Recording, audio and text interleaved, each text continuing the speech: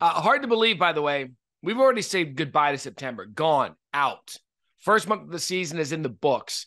And when you look at the month that was as we turn the page to October, there's so many surprises you could break down uh, with the first month of the season. First one to me, as I look big picture at what we're going to be going into October with. Part one, Clemson, six national champ, or wow, six college football playoff appearances. Can you imagine if they had six national championships?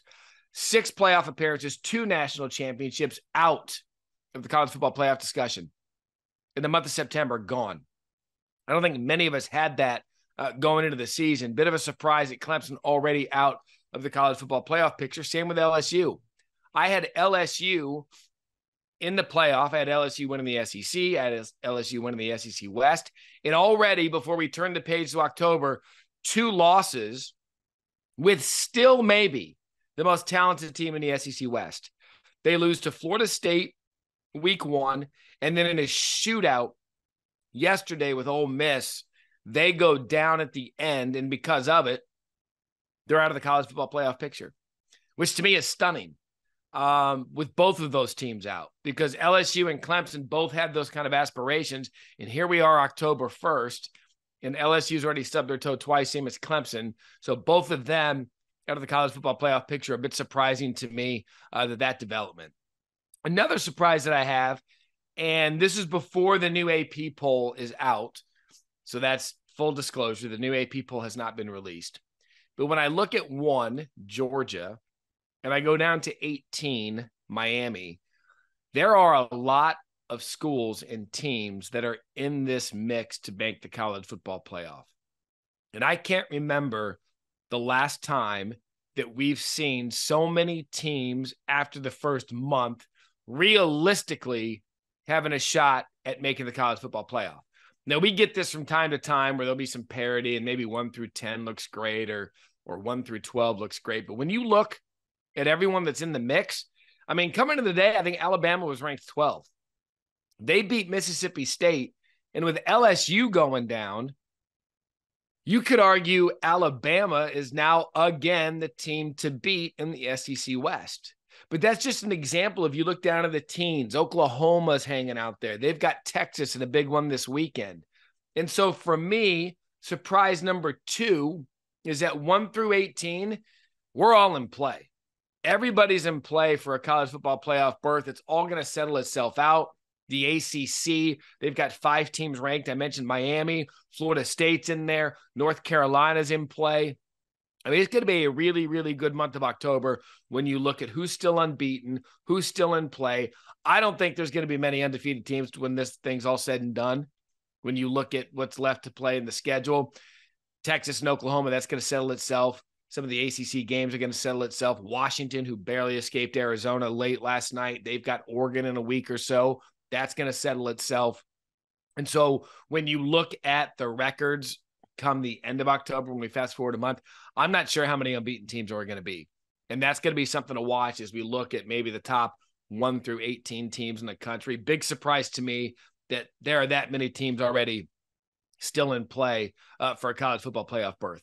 Another thing as we recap the month of September, who'd have thought that one of the most dominant corridors of the country in college football would be the Pacific Northwest, all the way the hell tucked out to the upper left hand quarter of the country.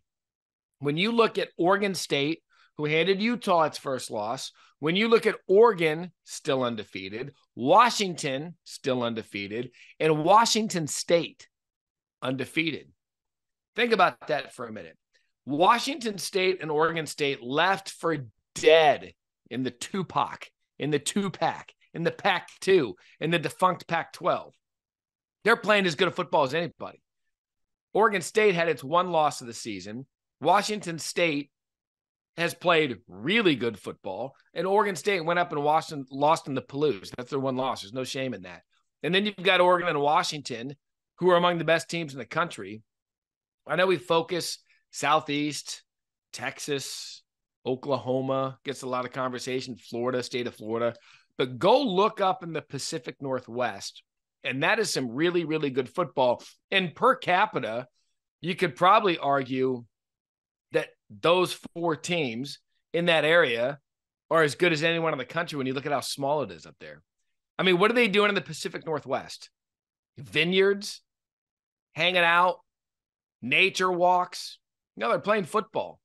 And that's going to be something to watch as the season goes on because my biggest worry for the Pac 12, and we were talking about this throughout the weekend, my biggest worry for the Pac 12, when you look at the depth, top to bottom, is that it's going to be dog eat dog and they're going to eat each other up. And how that handles itself throughout the season in terms of playoff positioning, in terms of uh, conference positioning. Pac 12 doesn't have any divisions. And so when you look at the rankings, as I pull them up right now, Washington, seven, USC, eight, Oregon, nine, Utah, their first loss. So they'll get kicked out of the top 10. They'll still be ranked. Washington State, 4 0, they're at 16.